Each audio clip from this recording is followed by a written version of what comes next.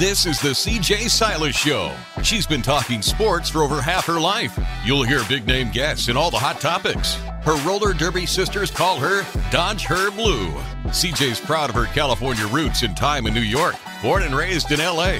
College at USC and Syracuse University. She's not afraid to share her opinions with you. And, like it or not, she wants to be the change. Ladies and gentlemen, all ears and no mask required. Here she is, CJ Silas.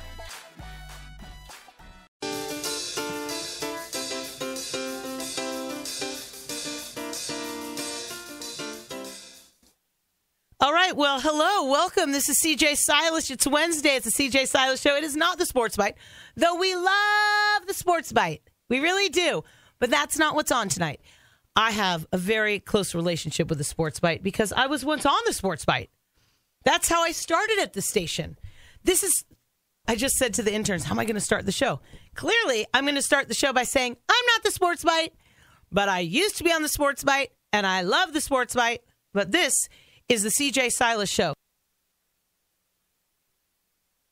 And we are going to have the best show. Kianah Corey will be in studio.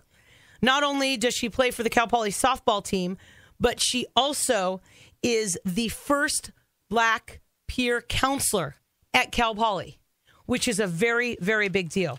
She's going to come in and we're going to talk about it because this is the last official day of February on the CJ Silas show, which is Black History Month. Next week is March 2nd. We will continue the CJ Silas show celebration of Black History Month. But today is our last official day in studio celebrating Black History Month. And Kianah and the Cal Poly softball team have been doing a really cool, a cool thing all month long um, to celebrate it. And then we're also going to talk to her, her about just everything she's doing because she's just incredible. She's working with the Black Academic Excellence Center. Um, and, and there is a lot of important stuff that young people can do, and she's actively doing it all. So she'll be here. So we're live celebrating Black History Month with a young black student from Cal Poly. Kianah will join us. We are going to get to her. Then we are going to continue the CJ Silas Show Black History Celebration as we always do. I want to honor the HBCUs. They came up over the weekend in Cleveland and in New Orleans. So some good stuff going on there. Uh, Major League Baseball is frustrating. Let me just get that out of the way. Let me just get Major League Baseball. Let, let me go. Let me start with the wah, wah, wah, and let me get to the positive. Okay, let's go first with in December, the owners locked out the players. We know that. At any time, Major League Baseball can lift the lockout. The unofficial deadline to get a deal done is next Monday. Remember, owners took 43 days after the lockout to make their first proposal. Major League Baseball management still wants a federal mediator, which the players don't want. Yesterday, Max Scherzer was one of the representatives from the players' side. They only met with uh, two people from each side. This week is vital. They need a new collective bargaining agreement. I'm not going to give you all the details because it's boring and it's kind of hard to follow. I'm not, and I'm not patronizing you because it's hard for me to follow. Remember, in 1994, a strike canceled the World Series, and it's baseball's really never completely recovered from it. Major League Baseball took hit that year, a hit, get it, not a base hit. They took hit. The younger players want more money. They they want to incentivize more teams to compete each year. Negotiations are going on in Florida. Spring spring training games have already been delayed. Uh, they were supposed to start this coming weekend, and now they're not going to happen until next month for sure. There's a cool columnist, and I forgot his name. Oh, I'm so sorry. He said that they should put it to a fan vote. That they should put their proposal out and then the fans should vote like they do for the All Star team. I love that idea, but it's not going to happen. We will continue to follow this story. It's just cheesh. It's just too much for me. Too much. Aaron Rodgers, what will he do? That's what everybody's talking about on sports radio. And it's boring. Tom Brady, he's retiring. He's coming out of retirement. He's not retiring. He is retiring. He abruptly retired. We're not sure if he's retiring. Listen, everybody's talking about that stuff. We're not going to talk about that here on the CJ Silas show. Instead, we're going to talk about the things that we think are relevant and interesting. When Aaron Rodgers makes a decision, it'll be interesting. We Tom Brady already retired. If he comes out of retirement, maybe that day it'll be interesting. until then, I'm not going to give you the same thing you get the other 23 hours today on sports radio. I'm going to give you something else. And it's going to come up in a little bit. Nobody wants to talk about it. Nobody wants to talk about what I want to talk about in the show. The United States and other countries ignored what just happened. People did not watch the Olympics. And a little bit later in the show, I'm going to tell you why. That's a tease. Get it? That's a tease. So don't go anywhere. You heard what I think about Major League Baseball failing. We will talk more about this next week. Larry Lee, the head coach of the Cal Poly Mustangs, will be on the show, as well as a Major League Baseball insider. We will have a short show next week because Cal Poly plays Portland at Baggett Stadium. We hardly ever have a Wednesday night game. Next Wednesday, I will lead you up until the game, the pregame show with Chris Sylvester. And I think if I'm lucky, he'll sit in with me, which would be really cool. Uh, in order to, for us to celebrate Black History Month, there are a couple things that we can do. We're going to do what we always do, and we're going to celebrate three people in the world of sports, the civil rights movement, history, music, arts, all of it. Anybody that is a brown or black person that has done something that needs to be recognized is celebrated here on the CJ Silas Show on Black History Month celebration.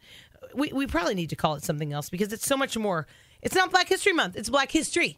In fact, starting today, we're taking out the word month. From now on, it's the celebration of Black history. And I want to get to that. We're going to celebrate Michael Jordan, who was born this month, um, Floyd Mayweather, which eh, eh, sometimes I don't really want to celebrate him, but he does. He did do some things that are recognizable in the world of boxing, and W.E.B. Du Bois, which I think his birthday is today. Before I get to that, I do want to mention that the HBCUs, which a lot of people don't even know what that means, historically black colleges and universities. This past weekend in Cleveland, they had the inaugural HBCU Classic. Morgan State took on Howard. Great exposure, good for recruiting, meaning more players could get to the NBA. This is going to help. There are 107 schools established before the, 19, the Civil Rights Act of 1964, mostly in the southern states. There are still 104. Three of those schools have closed since 2013. Jackson State, who hired Deion Sanders less than two years ago, is bringing some awareness and more notoriety to these schools. Deion Sanders is doing HBCUs a favor. He's also talented, and young people look up to him. He's smart. He's a great coach, and he's thoughtful. He doesn't only talk to the media about what he thinks the media wants to hear. Last year, he won the Eddie Robinson Award, which is a pretty good, uh, pretty nice thing. He won the top head coach in the FCS. I think there might only be one HBCU player in the NBA. Will you check on that, interns? I think, I think in the NBA it's Robert Covington uh, from the Clippers. He went to Tennessee State. I don't think there are any other ones. The New Orleans Legacy Bowl is a new thing as well. Exposure for HBCU athletes getting ready for the NFL, getting more of these kids exposure into the pros in whatever sport it is. We are going to continue to follow these stories because there are a lot of things that are giving light to HBCUs. We haven't talked about these schools. We have a little bit. We talked about it when um, the Celebration Bowl happened a few months, uh, a few weeks ago during college football season, bowl season in December. But we're going to continue uh, to talk about it, to honor it, and to recognize HBCUs as we celebrate Black History. Our Black History celebration continues with Michael Jordan. He was born on February 17th, known by his initials, MJ. His biography on the official NBA website states by acclamation, Michael Jordan is the greatest basketball player of all time. That's a hard one for me. We'll get to that. That's a different conversation because things have changed. He definitely was the best basketball player of his time. He was an integral part of popularizing the NBA around the world in the 80s and 90s, becoming a global cultural icon in the process.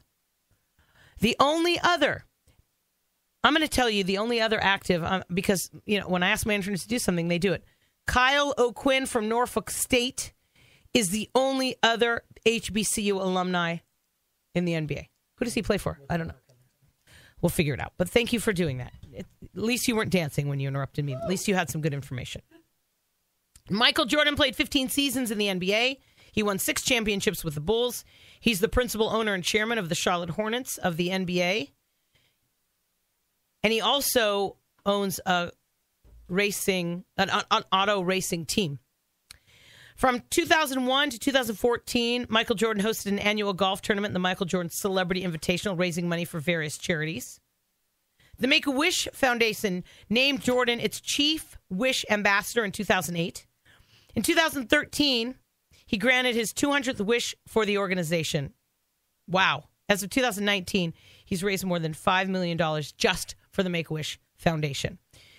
In June of 2020, in the wake of all the protests following the murder of George Floyd, he and his brand announced in a joint statement they would be donating $100 million over the next 10 years to organizations dedicated to ensuring racial equality, social justice, and greater access to education for black and brown people. Michael Jordan. Floyd Money Mayweather, born February 24, 1977. During his career, he won 15 major world championships from super featherweight to light middleweight, including the Ring Magazine title in five weight classes.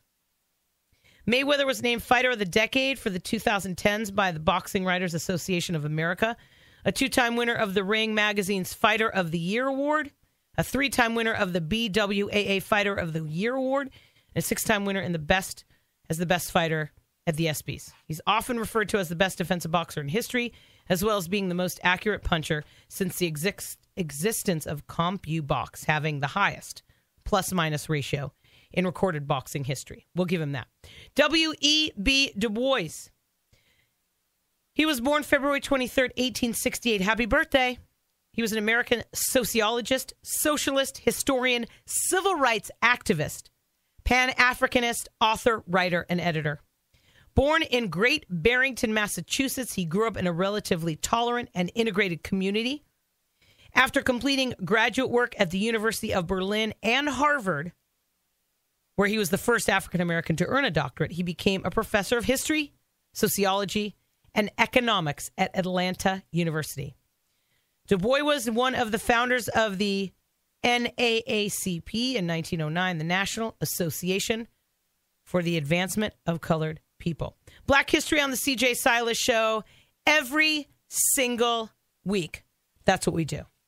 We celebrate, we honor, and we recognize people of color that have done things not just in sports, civil rights, music, history, literature, the arts. We will continue to do this because we will never run out of people to celebrate. We will never run out of people to honor.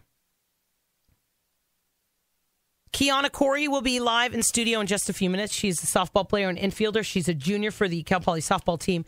And I learned about her because Coach Jenny Condon told me that they, the team was doing a Black History celebration. And every week, in the four weeks, each class first year, second year, third year, and fourth year would be presenting something to honor and celebrate Black history. And Kianah is is more than that. She's been playing the sport for 11 years, and she's going to come in and talk about the amazing things she's doing on the campus of Cal Poly. But I also want to hear from her on what she's doing in softball and what her her her grade did, her year did to celebrate Black history with her teammates and before you know what, I want to get to this. I don't want to wait till later to get to the Olympics. I, I just don't. I'm going to tell you why. I'm too passionate. People don't want to talk about what just happened. Countries, including the United States, ignored abuse, violence, and persecution in the country of China to the allow to allow the Olympics to go on as planned. I'm not going to lie. I wanted the games to happen. I really did for the sake of the athletes and only the athletes. I wanted the 2020 games to happen for the sake of the athletes, and they did, but they w- they waited to make it well to see um, in hopes it'll be more safe, and they happened in 2021 for the safety of everyone because of the pandemic. But why do we continue to think as the Olympics as a political story? It is a sports story. It is a human story. It is a humanity story. It's about the way we treat people. It has absolutely nothing to do with red or blue, liberal or conservative, Republican or Democrat. But the Olympic story has everything to do with human lives. It has everything to do with our brothers and our sisters in other places. It has everything to do with how we treat humans.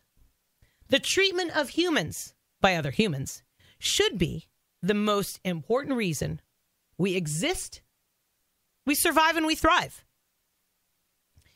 If there are people being abused in your neighborhood, if there are people being abused in your classroom, if there are people being abused in your family, belittled, contained, neglected, imprisoned, enslaved, shouldn't we care enough to talk about it? Shouldn't we care enough to do something to stop it? Shouldn't we care enough not to ignore it for the sake of the Olympiad? For the sake of an Olympic Games? Man, I do. I do. I love the Olympics. I usually love everything about the Olympics.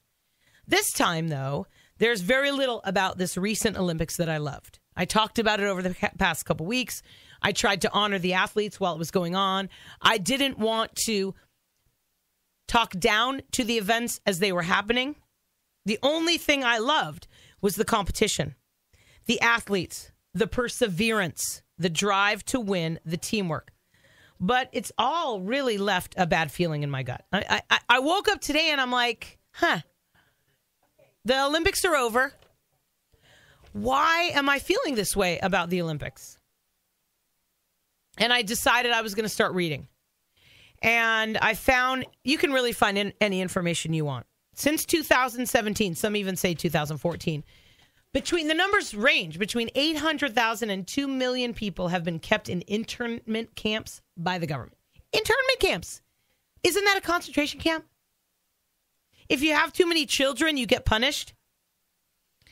Last year in March, did anyone notice that the European Unions put sanctions on Chinese officials because of human rights offenses? 180, not one, 180 human rights advocacy groups called for an Olympic boycott this year in China. Just recently, just a couple months ago in November, U.S. representatives found growing proof and concern that there's been an increase in concentration camps in China, and we're not talking about it. We're sports talk show hosts. This isn't about politics. This isn't about anything but humanity and how we care and feel about people. Did you notice that even the White House got involved? And it's not political. No U.S. officials attended the Olympics. Did you notice that? Because of forced labor and concentration camps. At least nine countries did that. It is not political, it's about humanity. It's about how we treat other humans. It's not about money. It's not about notoriety. It's not about success.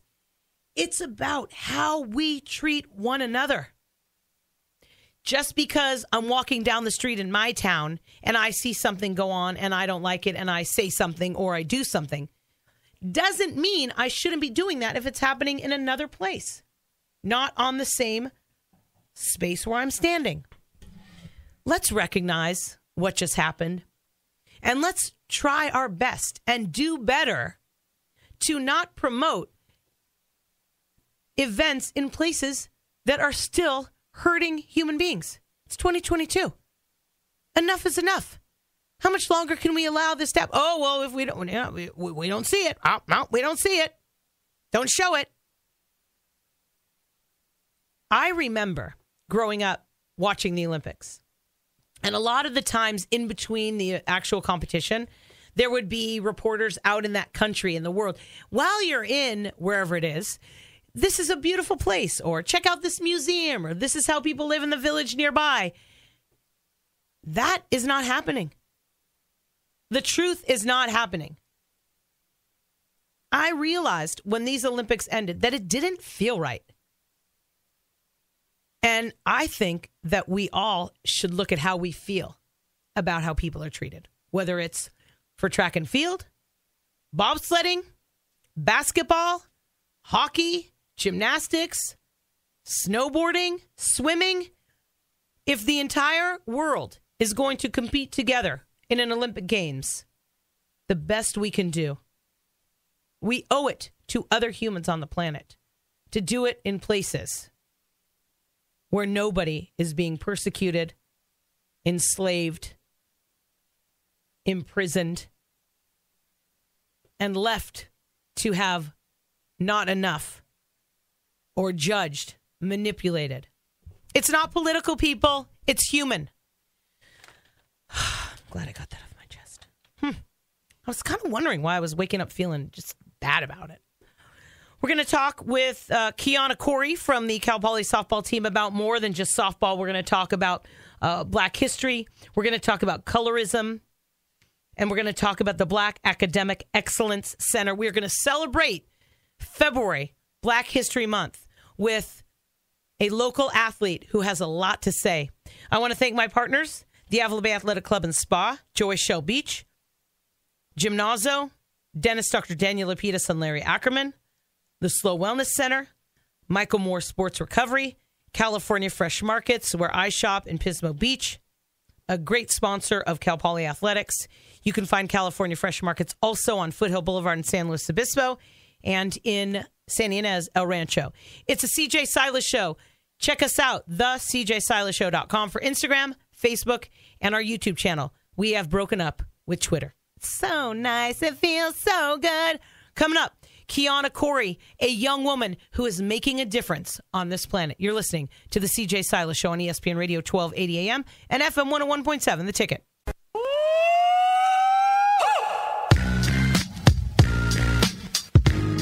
Back to the CJ Silas Show on ESPN Radio 1280, The Ticket. Welcome back to the CJ Silas Show. This segment is brought to you by dentist Dr. Daniel Lapidus and Larry Ackerman. 543 7993. Finally, they're taking new clients and patients because they expanded their office and they love Cal Poly. So they like to support us on our Cal Poly Athlete of the Week and our Cal Poly Sports Update. And we have one of the best athletes in the world in studio. Her name is Kianah Corey. It's her first time. And I want you to know don't be nervous because I get nervous too, but it's just you and me in here. It's really you and me and the interns. Just imagine that. There's no TV camera or anything. She's a junior infielder for the Cal Poly softball team from Elk Grove, California. Welcome. I'm so excited and Okay. nervous, obviously. Let me tell you why you're here. For there's two reasons you're here. Awesome. The first one is I was talking to Jenny Condon about Black History Month, and she told me that each class on the team was presenting something for Black History Month, and this is the last week. I know you're a third year, so you probably presented last week. Tell me what your what your crew on the softball team did for Black History Month. Right. So I'm actually a fourth year, so we were able to do it. We were the first ones to do it. Oh, really? Yeah. So that was kind Nice. of nerve wracking. Um, my class actually did women in STEM um, and also inventors as well. I think the third year class did. Um, Music, uh, musicians that Okay, impacted okay. the black community, and then um, last week was inventors again, and then this next week I have no idea what's what's going down tomorrow, but we So- do it every Thursday. You're a third, you're a fourth year, but you're a junior, so you have a red shirt year. Yeah, so what it is? I'm a Okay. fourth year. I have an extra year because of COVID. Nice. Is Yeah, that good? It's really nice because I feel like I just wasted like my was- third year. It was so nuts. It was Yeah. so nuts. And now you can have this good attitude that you didn't lose it. And I think that happened to most uh, baseball and softball players, Mm-hmm. track and field, certain sports that were going on in that that year March of 2020 that it all went down. Right. When you when you decided what your class was going to do, did you choose? Were you assigned? How did that go down? Yeah, so our coach actually made it very clear that she wanted the non people of color to kind of step forward because she knows that it's not um, necessarily our duty as black folks and um, other people of color to teach. So it was really nice to kind of step step back, especially with my job. I work for the Black Academic Excellence Center and I'm constantly doing things for diversity, equity, inclusion. So it was really nice to just sit back on this one. I I obviously, you know, still spoke, but it was nice to kind of watch. and see what your teammates were doing for sure, right? Mm-hmm. And, and the thing is about sports, and I feel like we're kind of lucky that way. Those of us that were athletes in high school, and lucky enough, I ran track in college, and Nice. you're on the softball team. It's a, it's kind of a diverse group. Anyway, softball's not as diverse as other sports. Mm-hmm. Yeah. But I think athletics, if you play your whole life something, you tend to be around a lot of different people, which is fortunate. But to come to a place like Cal Poly, and I think if I, I checked out the numbers, it's freaking me out. Okay, I, I had to double check these. There's 21,426 students at Cal Poly, graduate and undergrad. There are 165 black students at Cal Poly. Is that true? It is true. Um, not to mention, my freshman year, I came in as one of 17 black students to be in my freshman class. How on earth did you walk into a place like this? And it's a highly respected academic institution with a lot of cool people on campus.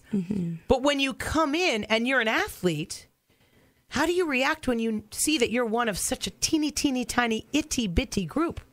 I was actually not as shocked because I came prepared. Okay. I also come from Rancho Murieta, a super small town. Um, I was one of the two, including my sister, black students in my elementary school, like the entire elementary school. So this wasn't as um, shocking. But as I kind of faced more and more racism throughout the couple of years being at Cal Poly, um, I just learned how to find my community and grow from there. Then the community is growing. Hopefully, it's very slow. She is infielder from the Cal Poly softball team, Kianah Corey, in studio with the CJ Silas Show. I was so. I, I was touched in my heart because we've been celebrating Black History on the CJ Silas Show now every week for, gosh, in May it'll be two years, and it's mm-hmm. just been the right thing to do. And when Coach Condon told me that you were doing this, I thought, okay, we got to do something about it. And then last week she told me that you're the first Black peer counselor slash therapist at Cal Poly. What does a Black peer counselor do?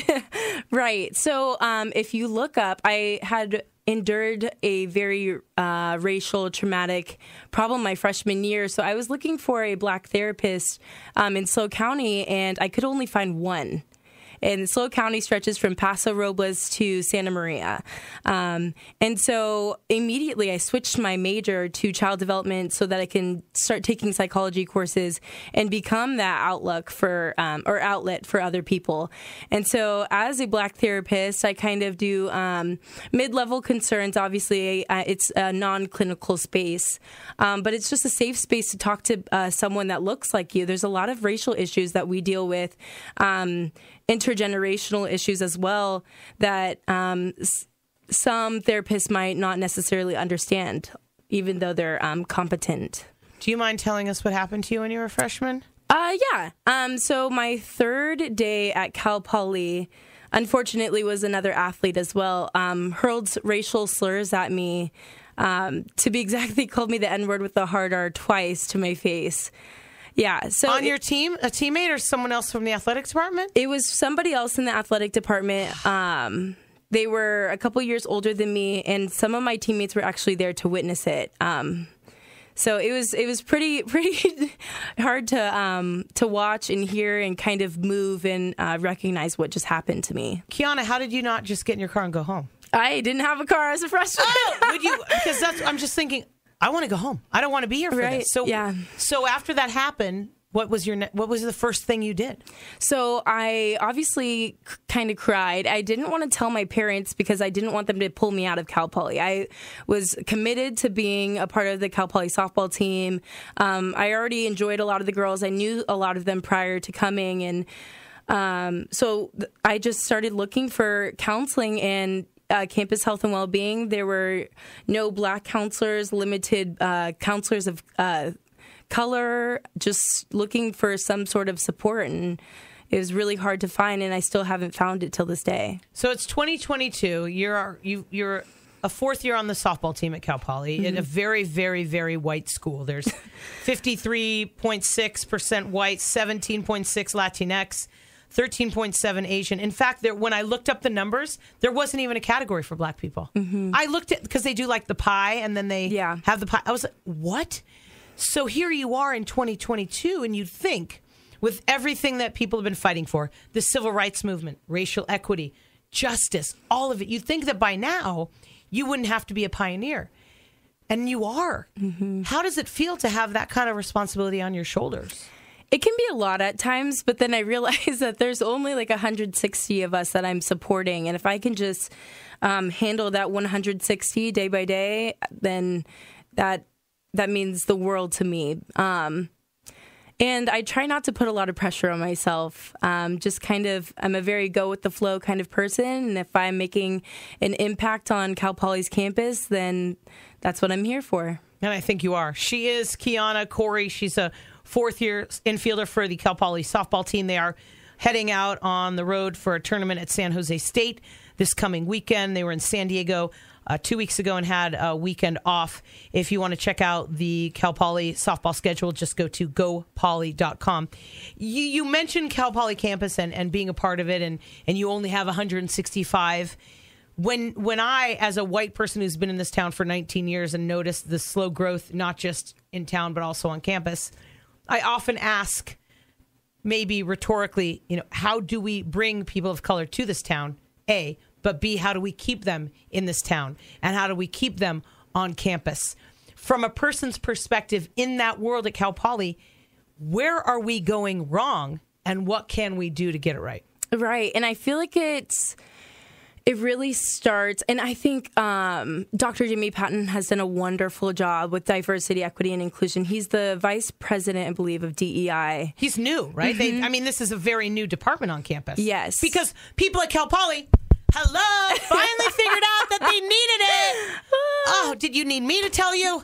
Sorry, I interrupted you. Go ahead. Well, like you're saying, just like hiring more people of color. When, when I mean people of color, I mean black folks. I'm talking about indigenous folks, other people of color on campus, and things like um, the Black Academic Excellence Center, making sure that we have everything that we need. We have a food pantry. Now we have a counselor, and we just did a, a sip and paint today. Just things like that, programs that feed people in. And when we, um, I saw people being toured um, yesterday, and they had no idea what a base was, or the Gender Equity Center, Pride Center, M&M.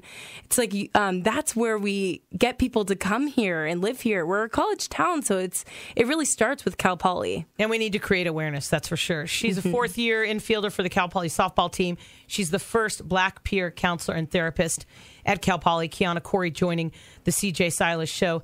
I saw something that you had done. You worked a healing session, I think you might have told me, uh, with the Native American Indigenous Culture Center recently.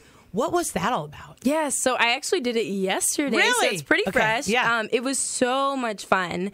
Um, typically, it can be really challenging to get a lot of specifically black folks to come to our programming. Um, but this we collaborated with NACE, the Native American Indigenous Cultural Center, Cal Poly Scholars, and the soon to be Latinx Center. Um, and it was amazing. We started off with uh, some journaling, um, some self reflection, and then we went into art therapy and then validation circle, which is really nice to validate someone that might look like you or someone that you really enjoy during that session. Wow, wow. It's pretty enriching. Even though it's tough to be a pioneer in that, the fact that you're a part of this and really at its grassroots is, is some says something about you and the kind of person you are confidence resilience and uh, willingness to be one of the first and that's really cool she is kianah corey on the cj silas show i saw another thing and i just recently watched a movie called passing mm-hmm. and it's about these two black women that i think they grew up together and it's a it was happening in culture a lot. It was a light, light, light skinned black person that mm-hmm. could pass for white, mm-hmm. and these two girlfriends separated. They went on with their life, and they bumped into each other later. One of them who's living her black life, like she. People know that she's black. She's got a husband who's black. She has black children. And then this woman that she knew as a young person that is passing for white because her skin is so light. And it's a it happened a lot. And there's a lot of discrimination within the black culture, and they mm-hmm. call it colorism. Yes. And I noticed that that happens a lot in the white culture as well because people look at someone who's brown, and if they're a lighter brown, they're not as threatening or whatever it might be. And then as your skin becomes darker and you just have more, what's the word? What's it just, I just lost it. More, oh, it's the color of your skin. There's Yes, a, there's yes. a, there's a, there's a technological Pig- term. um, um, oh, Ma- ma- Mel- Melanin, melanin. Yes, we got it. We got Oh, it. that was Thank weird. you. Oh, that was a live radio brainstorming session. Yes, melanin. And I realized when, and I just randomly watched this movie because it's up for some awards. Mm-hmm. And the reality it's in both cultures. How how much have you seen that on campus and in your life? Yeah, I mean, the viewers at home can't see what I look like right now, but I am actually um, very privileged. I come from a light skinned father and an Asian mother, so I'm a mixed child. Um, and I will never, ever face the colorism that my um, darker brothers and sisters out in not only Cal Poly, this, this county, um, California, this Everywhere. entire The world, world, yeah. you will see colorism in. I definitely want to use my privilege in that kind of way because I, I quite literally see these kinds of things happen, and I see um, it happen to my father rather than to me or my sisters. Even we varying uh, different colors as well too. If you look back at our history just recently, since George Floyd was murdered on May 25th of 2020, we on the CJ Silas Show refuse to forget that, and we will Mm-hmm. Right. continue to move forward in uh, making people aware Mm-hmm. of things. And you look back at that, and a lot of people have gone on and tried to make equity, equality, uh, a political statement, a political conversation, but it's really not. And I talked about this a little bit about what happened with the Olympics in China uh, recently, but it's social justice, equality are not political issues. They are human issues. As a young person and with your peers, all peers, no matter what color their skin is, do you think it's just is it old people that that that put those two and two together? How have you experienced that? No, not at all. We actually have seen it um, in like the athletic community in general. Um, it becomes this big political issue when in reality, and I put that in air quotes. but no Yeah, yeah. I know, right? Uh, but in reality, it is a social issue. Of course it um, is. Just this weekend, we're going to wear our Black Lives Matter shirts, which I'm so excited because we watched the soccer girls wear it. We watched the women's basketball girls wear it. And I was a little bit worried because I was like, is this a political statement?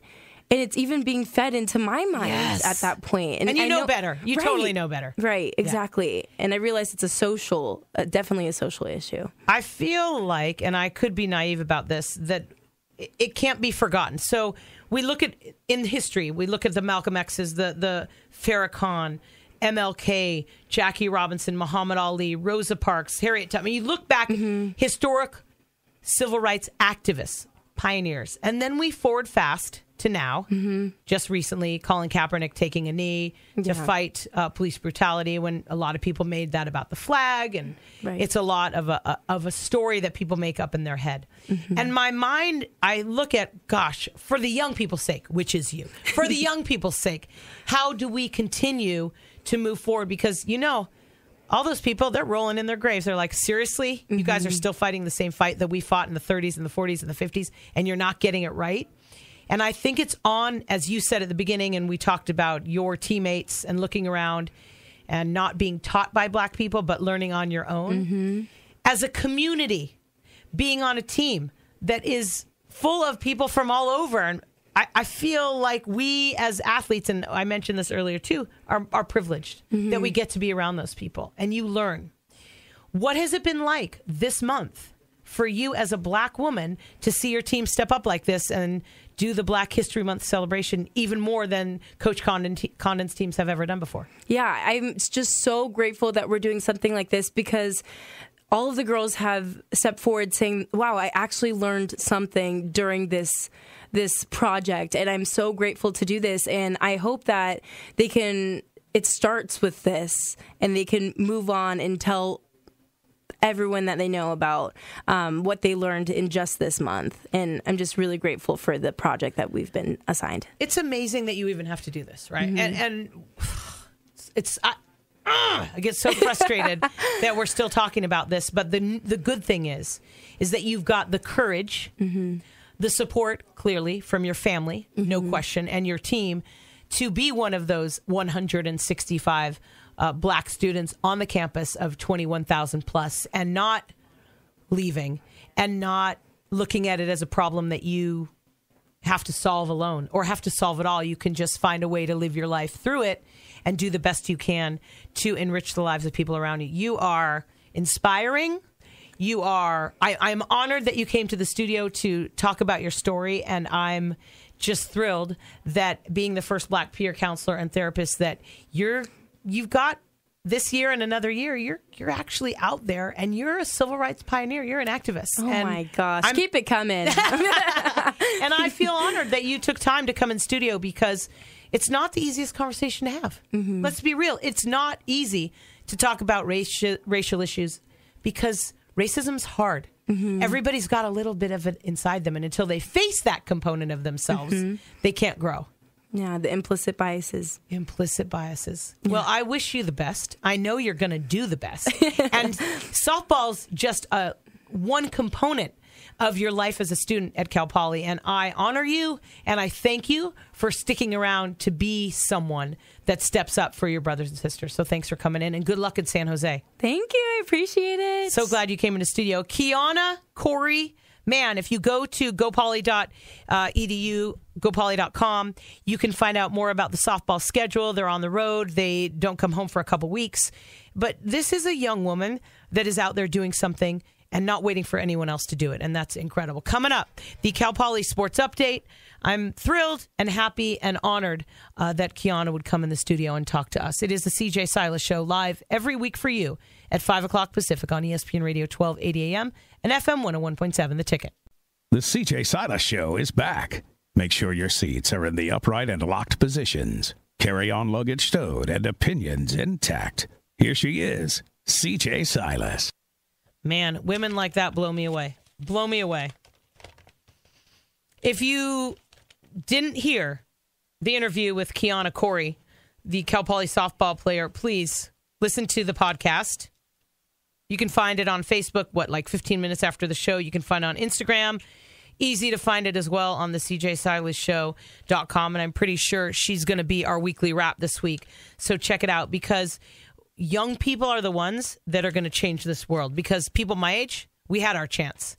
And we can help and we can assist, but we aren't, unfortunately, people aren't listening to us anymore. And we don't really ha- have anything to say. Really, we did. We had our chance to make a difference, and a lot of us failed. And we're going to keep doing it here at the CJ Silas Show. But uh, Kianah Corey is, she's going to go out in the world and do big things. It is time for the Cal Poly Sports Update. Hancock and Cuesta as well. Cal Poly women's and men's swimming and diving. Wow. Uh, rec- records were broken. Uh, Kieran McNulty and Janati Sintik both broke some records at the MPSF Championships. Softball, as we said, they're off this week. They're in a tournament at San Jose State become uh, beginning Friday. Wrestling back in the top 10 for the first time in 39 years. They did lose to Stanford, but next up, they're at the Pac 12 Championships uh, March 6th. Women's tennis beat Davis. Local freshman Peyton Dunkel and Eliza Bates won, and they're now two and two. She also Dunkel also won in a three set comeback win in singles. She's now six and two, and she's a freshman. Her sister's amazing too. Next up, the tennis team hosts Fresno State Friday. Uh, beach volleyball opens up their season this weekend at the Florida State Beach Bash. They're going to take on number three, Florida State, number six, TCU, the University of Tampa, and Northern Florida. It's going to be a test for Todd Rogers and his squad.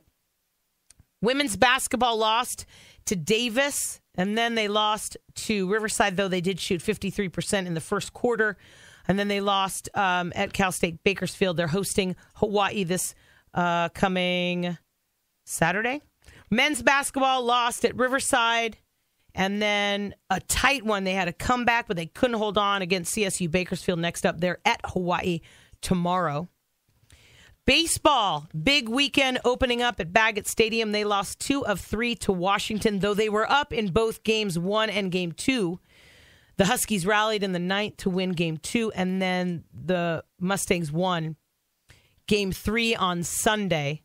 Kyle Scott and Caden Sheedy combined for a two hit, 11 strikeout performance. And then last night in the frigid weather at Baggett Stadium, they beat Fresno State 8 to 4. Matthias Haas had a two run homer. It's his second homer of the season. Brooks Lee, uh, three RBI double. Next up, the Mustang baseball team is playing Missouri State, but because of weather, they're not going to Missouri State. They're going to play in Arlington, Texas.